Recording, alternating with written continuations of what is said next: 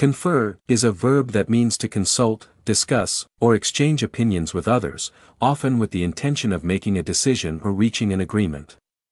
It can also refer to the act of bestowing an honor, title, or authority during a formal ceremony or meeting.